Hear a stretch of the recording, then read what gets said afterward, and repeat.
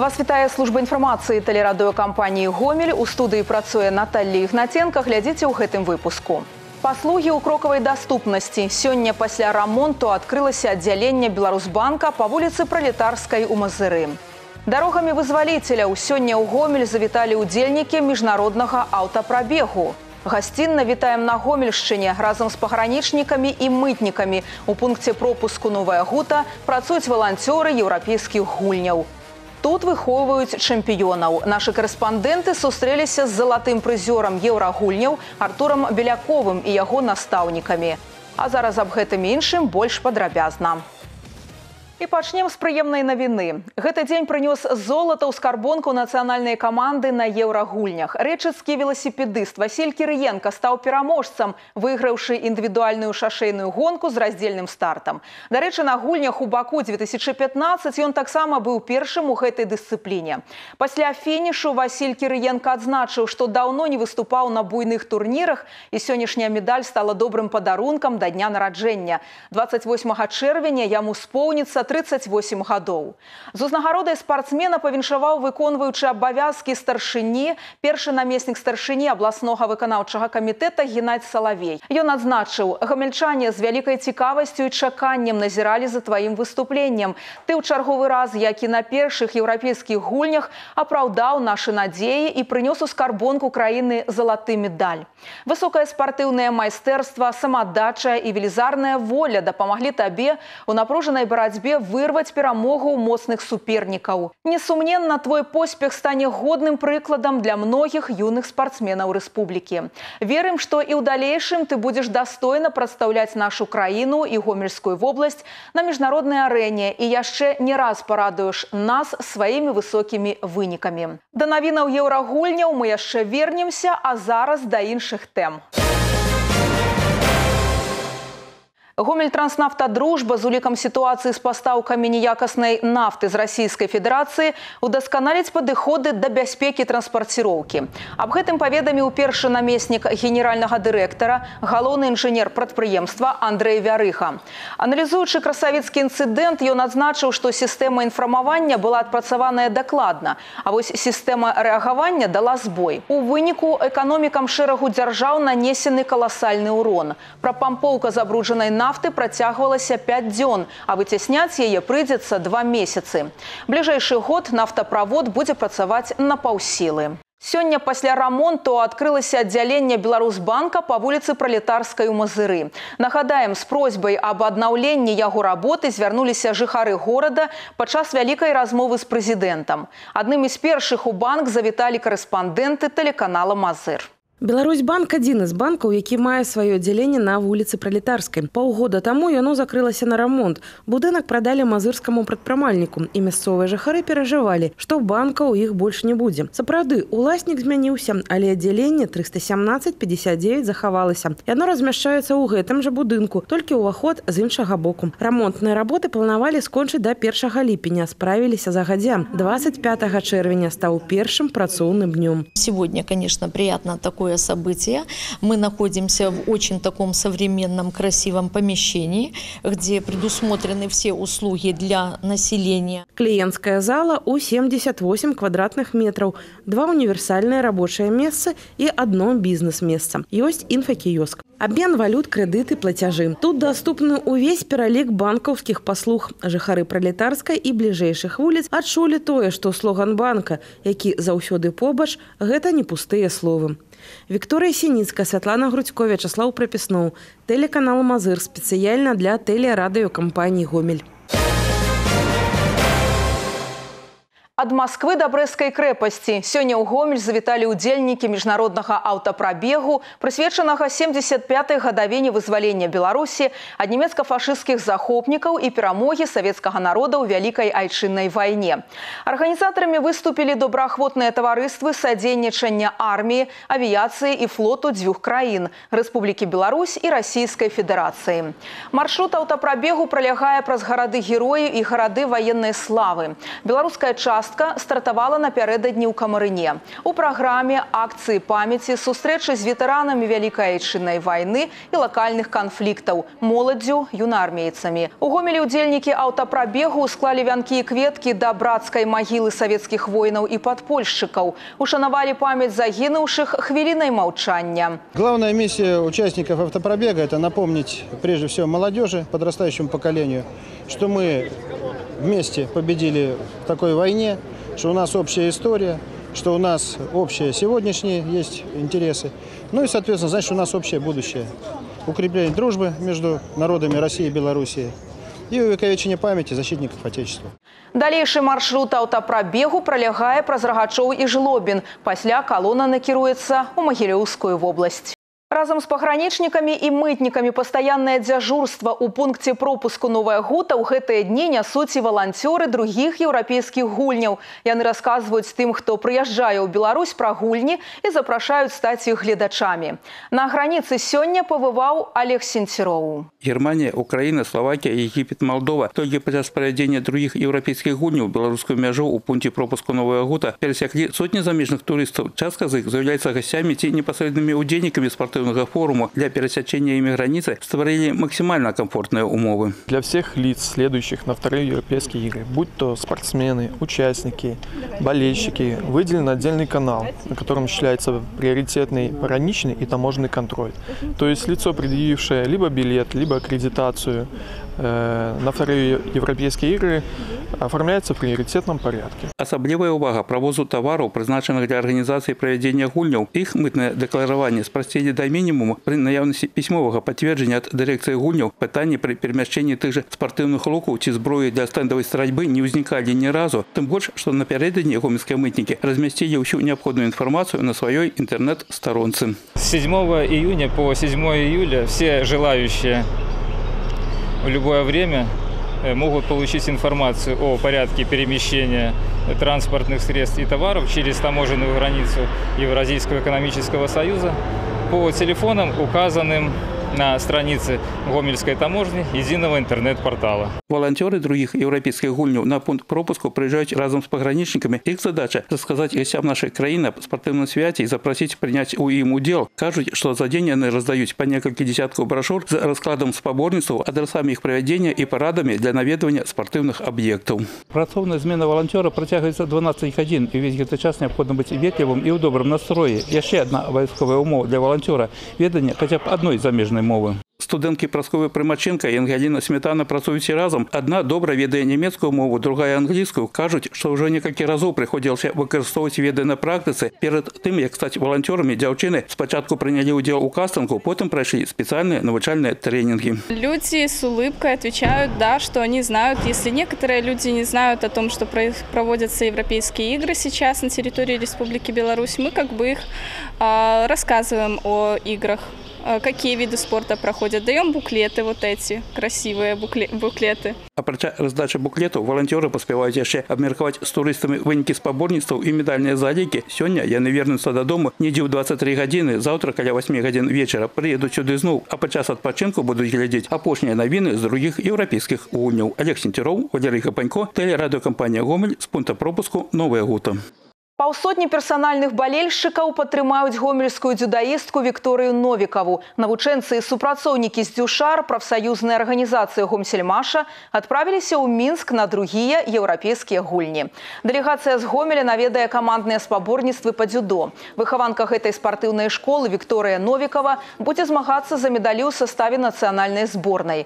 Для падтрымкі сваёй землячкі юныя балельшчыкі назапасіліся баннерамі і крычалкамі. Я очень волнуюсь, да, и, конечно, хочется посмотреть на всех джедаистов. Это, честно, моя мечта. Как бы всегда хотелось попасть на такие соревнования.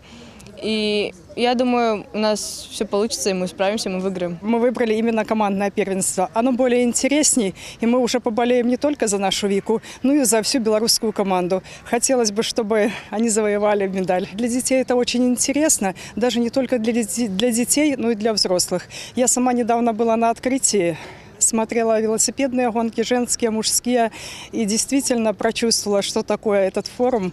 Для этого, чтобы почувствовать всю ту атмосферу, надо на самом деле побывать в Минске, окунуться в этот праздник и почувствовать.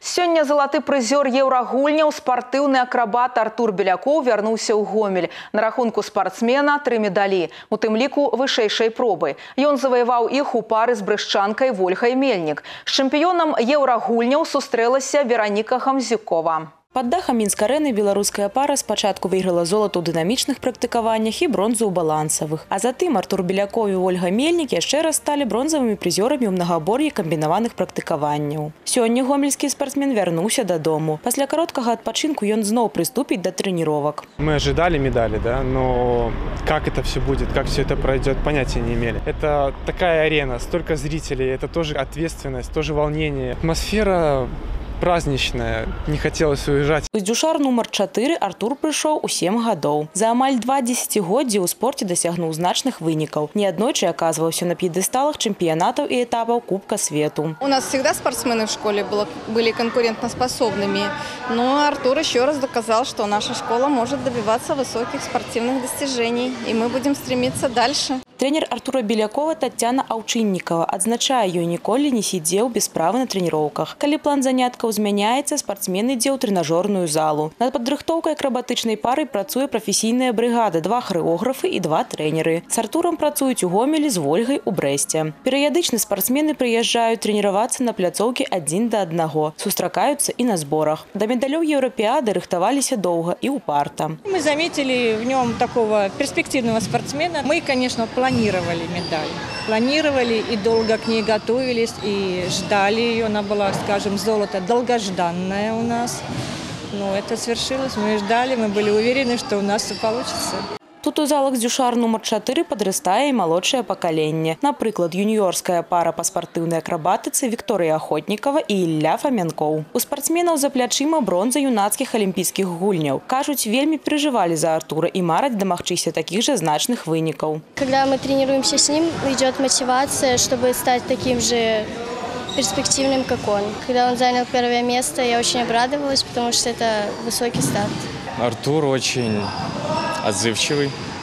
Он подсказывает нам, как старший, говорит, где у тебя ошибка, где-то подправляет, где-то советует. Болел, смотрел по телевизору, переживал. Очень неожиданно было, когда завалили первое место. Ну, конечно, все очень рады. Ближайшее спаборніцтва для Артура і Вольхі чэмпіянат Еўропы ў Ізраілі. Ён пройдзе ў верасні. У планах і спартсменаў і ў трэнерскага штаба заваяваць на еўрапейскім першынстве золата. Вераніка Гамзюкова, Валерый Гапанько, Ігор Марышчанка, тэлерадыёкампанія Гомель. Лето павінна быць бяспечным. Амаль кожны дзень гомельскую абласную дзяржаўтаінспекцыю наведваюць дзеці. Тут удзельнікаў аздраўленчых лагераў сустракаюць інспектары і праводзяць экскурсіі. Хлопчыкаў і дзяўчынак прыводзяць у міні-музей даі на экзаменацыйны аўтадром і знаёмяць з гісторыяй стварэння скульптурных кампазіцый, светлафорнага дрэва і першага аўтамабіля міліцыі. Маленькім гасцям дэманструюць пляц з рэтра і сучаснай тэхнікай даі. Напрыклад, унікальным патрульным аўтобусам летом. Такія экскурсіі праводзяць некалькі разоў на дзень, а па выхадных інспектары на аўтобусе адпраўляюцца ў загарадныя лагеры разам з супрацоўнікамі іншых службаў, каб правесці для дзяцей конкурсы і віктарыны на веданне правілаў дарожнага руху. Усё гэта частка мерапрыемстваў вялікай прафілактычнай акцыі бяспечнае лета. С учетом Э, большого количества дорожно-транспортных происшествий с участием детей, конечно же, госавтоинспекция работает э, в данном направлении в усиленном режиме. Ежедневно работаем с детьми, не только на территории госавтоинспекции, а и в детских оздоровительных лагерях, в том числе и в пришкольных лагерях. Конечно же, где-то э, пытаемся до детишек довести основные азы соблюдения правил дорожного движения. Дарэчы, заўтра жыхары рэгіёна змогуць задаць пытанні па тэме дарожнай бяспекі кіраўніку дзяржаўтаінспекцыі. Начальнік абласнога ўправлення даі Андрэй Гаркуша 26 чэрвеня правядзе прамую лінію. Звяртацца трэба з 12 до 13 гадзін па нумары тэлефона ў гомелі 68 31 53. Выстава фотаздымкаў з музея обороны и блокады Ленинграда адкрылася ў расійскім цэнтры навукі і культуры ў гомелі. Экспазіцыя пад назвай і музы выстаялі гэта фатаграфіі людзей, якія перажылі блокаду. Здымкі прысвечаны рабоце творчай інтэлігенцыі, артыстаў, музыкантаў, літаратараў ва ўмовах асаджанага Ленинграда. Наведвальнікі ўбачаць, як гараджане захоўвалі помнікі і давалі жыццё новым творам мастацтва, як у той цяжкі час працавалі тэатр, кіно, друк і музеі. Выставка повествует о том, что культурная жизнь в северной столице не прекращалась, даже в дни блокады Ленинграда.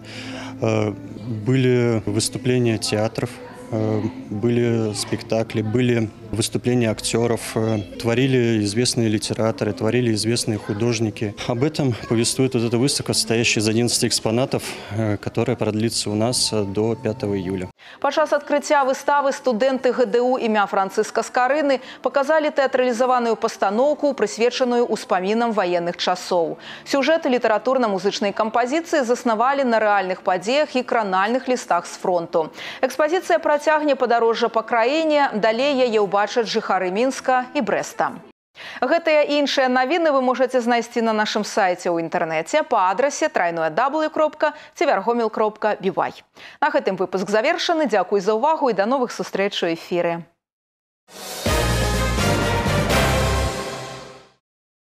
Эфир телеканала «Беларусь-4» продолжает де-факто. В студии Александр Гамоля. Здравствуйте. Следователи Гомельской области раскрыли нелегальную схему заработка на закупке промышленного металлолома. Заготовители продуктов и сырья Светлогорского райпо, чтобы повысить свои премиальные, придумала незаконный способ увеличить показатели по закупке металлолома у граждан. Обвиняемая знала, что по закону ей запрещено приобретать у населения промышленный металлолом. Несмотря на это, работница райпо организовала его закупку и последующую сдачу на переработку под видом стального бытового лома. На основании собранных по делу доказательств действия заготовителя продуктов и сырья Светлогорского райпо квалифицированы следствием как дача взятки повторный служебный подлог. Уголовное дело передано прокурору для направления в суд. В один день удар током унес жизни двух человек в Гомельской области. На сельхозпредприятии в Октябрьском районе погиб электромонтер. В ходе проверки следователями райотдела СК стало известно, что мужчина помогал сварщику чинить оборудование.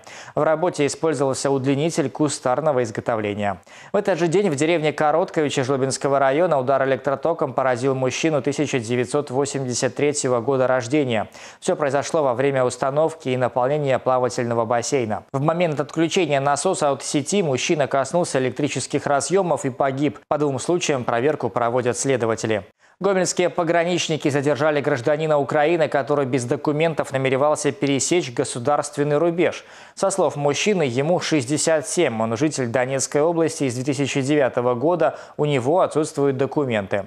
В его отношении начат административный процесс по статье о незаконном пересечении границы. Личность устанавливается, ведется дальнейшее разбирательство. Законное наказание уже постигло гомельского мотолихача на байке без номеров. Вместо того, чтобы остановиться по требованию ГАИ, он ускорился и скрылся. Инспекторам понадобилось меньше суток, чтобы разыскать нарушителя. Им оказался 24-летний гомельчанин с двумя судимостями за плечами. В 2013 году он попался на хранение в автомобиле психотропов. Спустя 4 года он опять оказался на скамье подсудимых за нарушение требований ПДД, приведших к дорожно-транспортному происшествию. В списке административных правонарушений байкера до задержания было 67 пунктов. К ним добавились еще 6, в том числе езда без права управления. В Реческом районе в ДТП погиб пешеход. Происшествие произошло в начале второго ночи. Водитель автомобиля «Скания» не заметил женщину, которая шла в попутном направлении по центру крайней правой полосы. Возбуждено уголовное дело, проводится проверка по данному факту. Но вместе с тем хотелось бы отметить, что э, вот э, если бы, возможно, был звонок э, от проезжающих других водителей, возможно бы госинспекция выехала бы и изъяла этого пешехода с проезжей части и э, дорожно-транспортное происшествие не случилось бы. Это все новости на сегодня. Оставайтесь с нами и берегите себя. Я Александр Гамоля. Благодарю за внимание. До свидания. На телеканале «Беларусь-4 Гомель» новости спорта в студии Максим Савин. Здравствуйте. По итогам четвертого дня вторых европейских игр Беларусь на второй строчке медального зачета. На утро вторника в копилке нашей страны 38 медалей, 11 золотых, 9 серебряных и 18 бронзовых. Сегодня развернулась борьба за награды и на воде. Свои выступления начали гомельские грибцы на байдарках и каноэ. В составе команды каноистка Елена Ноздрева и грибцы-байдарочники Маргарита Махнева, Надежда Попок, Марина Литвинчук, Ольга Ольга Худенко, Станислав Дайнека, Владислав Литвинов и Роман Петрушенко. Команда ГГУ имени Франциска Скорина стала серебряным призером спартакиады союзного государства. В соревнованиях, которые проходили в Бресте, приняло участие около 230 человек. Беларусь представили команды 10 ведущих белорусских университетов. От России приехало около 100 участников студенческих спортивных клубов 13 вузов. Соревнования проходили по трем видам спорта – плаванию, мини-футболу и баскетболу. По результатам турнира сбор сборная ГГУ имени Франциска Скорина стала серебряным призером, уступив лишь команде БГУ ФК. И еще один успех на счету Гомельского университета. Команда ГГУ завоевала серебро Республиканской универсиады по академической гребле. В соревнованиях участвовали около 100 гребцов в составе 11 команд, представители шести регионов нашей страны и города Минска. По итогам двухдневных соревнований команда ГГУ набрала 77 очков и стала серебряным призером турнира, уступив лишь сборной Белорусского государственного университета физической культуры. Третье место у БНТУ в классе женских двоек распашных победу одержали Татьяна Филиппова и Анна Храпкина. Бронзу на дистанции 2000 метров выиграли Мария Колесникова и Татьяна Гончарова. Среди мужчин в классе двоек распашных победили Антон Богинский и Евгений Моисеев. Член национальной сборной Республики Беларусь, магистрант факультета физической культуры нашего университета Татьяна Климович завоевала золото в самом престижном классе лодок – одиночки. На этом пока все. С новостями спорта вас знакомил Максим Савин. Оставайтесь на Беларусь 4.